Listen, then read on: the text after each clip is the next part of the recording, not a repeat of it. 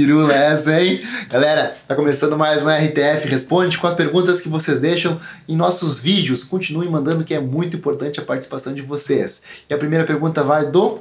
Titio dos B.O. Oh.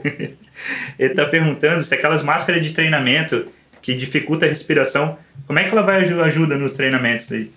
Então, titio, olha só, como é que funciona aquelas máscaras? São máscaras de. costumam ser chamadas de simuladoras de altitude. Quanto mais alto você for numa serra ou num país que tem que está muito acima do nível do mar, uh, o ar é mais rarefeito, uh, tem menos oxigênio.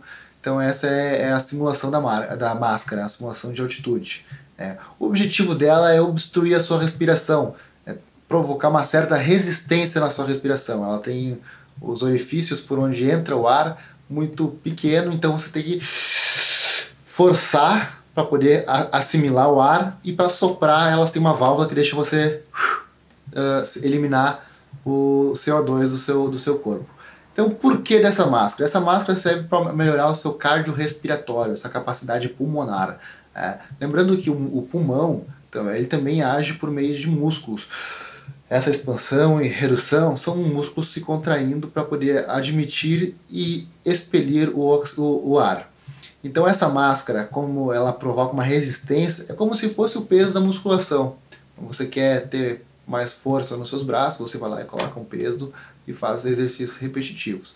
E a máscara é a mesma coisa, ela dificulta a sua respiração, então você se obriga a fazer força para poder assimilar, então aumenta muito sua capacidade cardiorrespiratória e a maneira com que o seu corpo aproveita o oxigênio. Como você vai ter maior dificuldade praticando exercícios possivelmente de alta intensidade, não adianta você botar uma máscara e caminhar na esteira, porque muito antes de você estar tá usando a máscara para caminhar na esteira, você vai ter que correr, depois da corrida você vai correr na rua, que é mais pegado que você correr na esteira, fazer piques de explosão, e aí sim você usa máscara. No momento que você está com seu desempenho físico e a 100%, vamos botar dessa forma, você vai usar máscara para passar desse ponto, tu entende? Não adianta eu que parado só, ah, faço musculação, faço 10 minutinhos de caminhada antes, 10 minutinhos no final do treino. Maior besteira tá usando a máscara de simulação de altitude. Pô, se você quer ter dificuldade no seu treino aeróbico, quer aumentar sua capacidade respiratória, quer aumentar sua capacidade de cardio, quer aumentar seu fôlego, corre primeiro, corre, aumenta a intensidade. Pô, tô no meu limite ali, ah, sim, beleza, agora eu vou bater manopla usando a máscara de simulação de altitude, de obstrução respiratória. Daí sim, pô, você vai sentir realmente a necessidade de puxar. Então, quando você tiver um intervalo, você vai pro, pro, provavelmente periodizar um treino onde você usa a máscara. O momento que você tirar a máscara, vai ser que nem tomar água. Respirar vai ser que nem tomar água. Você vai se sentir muito bem. Então, é esse é o objetivo. Se você conseguir treinar com a máscara em alta intensidade, a sua capacidade respiratória sem a máscara vai ser muito maior, porque você fortalece o seu sistema cardiorrespiratório. Não só a força em admitir e expelir o ar, mas também a forma com que seu organismo aproveita a quantidade de oxigênio. Você treina o seu, seu corpo para assimilar e trabalhar melhor essa respiração. Beleza?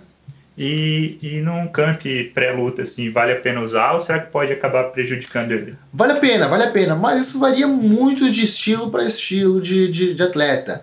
Uh, vou te dar um exemplo: atletas que são muito explosivos e botam muito volume de mão.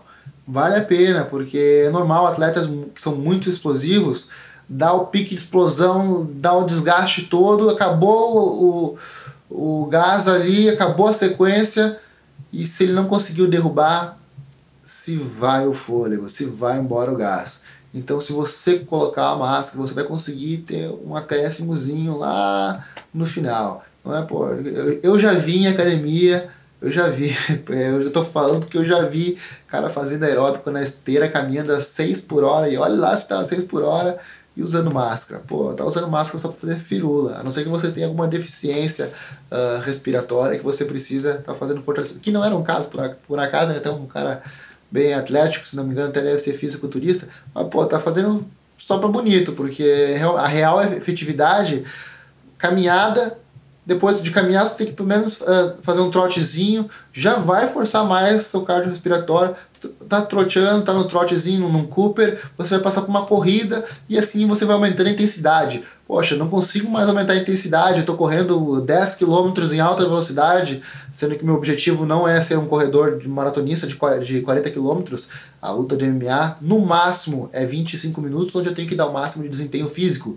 Então o que eu faço? Eu diminuo meu tempo e aumento muito a minha velocidade. E aí sim eu uso essa máscara para aumentar a, a forma de respirar, minha capacidade cardiorrespiratória. Eu conseguir respirar e assimilar, manter o meu corpo com bom fôlego, é, fazendo atividade de alta intensidade. Daí sim, quando você tirar a máscara, você vai sobrar. Esse é o objetivo dela, provocar uma resistência na respiração. Não é só para bonito, embora muita gente pense que é. É porque lá é bonita, né? Pô, é legal, né? Parece um Sub-Zero, né? É, Fica nossa. parecendo um Sub-Zero. o Sérgio Júnior aqui está perguntando se tens alguma técnica para na hora da luta estudar o adversário, para saber é, quais são as deficiências dele. Como é que tu faz para enxergar isso durante a luta? Como é que é o nome dele? Sérgio Júnior. Ô Sérgio Júnior, tem sim, Sérgio. Uh, todo lutador ele tem uma coisa chamada linguagem corporal. Ele demonstra muito o que ele faz, conforme a postura que ele está, quanto mais conhecimento você tem desse lutador, obviamente, estudar ele antes da luta, você vai acabar vendo que de determinada forma que ele se posiciona, ele faz determinados golpes, determinadas atividades, determinadas entradas. Então, você vendo aquilo ali, você já consegue se precaver do que ele vai fazer. E se for uma luta, eu botar de 3 rounds de 5 minutos, você tem 15 minutos. E em 15 minutos você repete muitas vezes a mesma coisa. Você consegue marcar o tempo do jab para você poder entrar com golpe de encontro.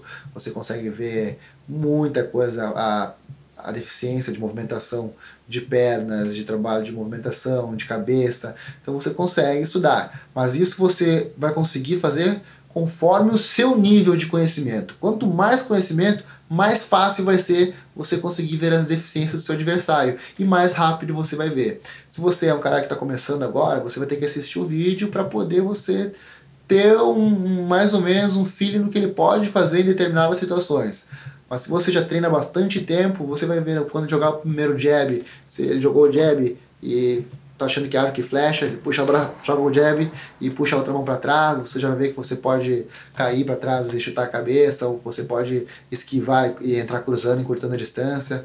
Então, é, quanto mais conhecimento, quanto mais domínio daquela modalidade, você vai conseguir ter maior facilidade em fazer esse estudo em tempo real da luta. Vai começar o primeiro round, pois muitas vezes a luta, algumas lutas, os atletas começam, o primeiro round é mais cozido, porque é um round de estudo, onde você avalia o time do seu adversário, alguns vícios, em vez de jogar o jab, ele dá uma puxadinha, embala o jab para poder botar potência, então esse jab já é a marcação do que você consegue pegar, então você consegue pegar alguns, alguns detalhes que vão te favorecer, você não vai criar exatamente um 100% de antijogo, mas você vai buscar o possível para conseguir tirar vantagem da, das deficiências do seu adversário. Porque às vezes é um detalhezinho desse que tu acha nocaute, né? É um detalhezinho. Quando a gente está falando de trocação, você tem pegada de mão aí, ou até mesmo canelada na cabeça, se pegar canela limpa na cabeça é boa noite Cinderela. E se você conseguir entrar com uma mão limpa no rosto também, pode ser que talvez você não nocauteie no primeiro impacto, mas vai causar um distúrbio ali o suficiente para você conseguir aplicar uma sequência com golpes maiores, onde você vai conseguir botar o seu adversário a nocaute. Aproveitando o gancho já, o Max Henrique aqui, ele está perguntando para onde que ele olha no oponente para saber o que, que o oponente vai desferir para ele se antecipar na defesa do golpe. Então, como é que é o nome dele mesmo? Max Henrique.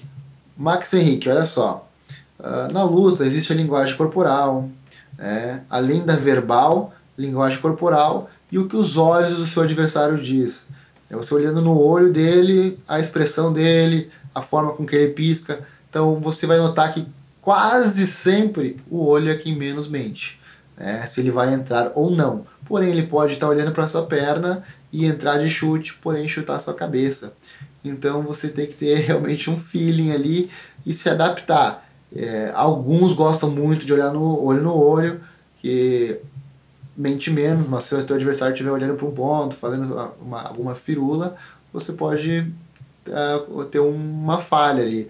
Vou te citar como exemplo a luta do Vitor Belfort e do Anderson Silva, onde o Anderson pegou, ficou marcando a perna do, do Vitor e quando chutou jogou um frontal na cabeça. Você pode ver que o Vitor levanta um pouco a perna como se fosse bloquear e protege, porém o chute frontal veio entre os braços e pegou a, a, a, o queixo do Vitor e infelizmente ou felizmente, felizmente para o Anderson, infelizmente para o Vitor, e acabou nocauteando o Vitor Belfort. Então, existem muitas e muitas coisas que vão dizer o que seu adversário vai fazer. Linguagem corporal, linguagem verbal. Você pode estar prestando atenção também no que o corner dele fala. Né? Você tem que estar ligado no seu corner, pegar alguns fiozinhos do, do corner do seu adversário e estar tá atento no que ele está demonstrando que vai fazer. Então, o Leonardo Crisóstomo aqui, ele está falando que sempre que ele dá o jab direto, ele estica demais o braço e dá aquele trancão. E é um vício dele já. Para quem tem esse vício, tem alguma dica para como perder isso? Algum estilo de treinamento para não esticar o braço até o final para dar aquele trancão? Esse trancão que você está falando é quando você estica tanto e bate no limitador do seu cotovelo? Será que é isso Prova que ele está falando? Provavelmente é isso. Provavelmente deve ser isso que ele está falando. Esse movimento até de quando estica o golpe, querendo alcançar demais o seu adversário, ele dá bursite, ele inflama a bursa do cotovelo, é bem normal, tá? Porém, vamos entender o seguinte, o tríceps é responsável por esticar, por estender o nosso braço. E o limitador desse movimento é o bíceps. Então o bíceps fortalecido vai diminuir esse impacto do, do seu cotovelo, da, da, da terminação da sua articulação. E você tem que pegar um time melhor. Às vezes não adianta você querer esticar demais, alcançar o que não vai, porque você vai se machucar e não vai conseguir botar contundência. Não, não joga seu braço simplesmente da maneira que for mais fácil e mais rápido. Você tem que jogar e girar um pouquinho o seu ombro, ter controle do seu braço para você poder ter firmeza, tanto para ir para voltar. Eu até costumo dizer que tão importante do que você lançar um, um jab bem desferido ou um direto, mais importante ainda é o retorno dessa mão para o seu rosto, para a guarda. Então você tem que estar sempre tão atento na ida quanto na volta. Então você, você pegando esses detalhes, você vai ver que vai diminuir muito as chances de você bater e machucar a bursa do cotovelo.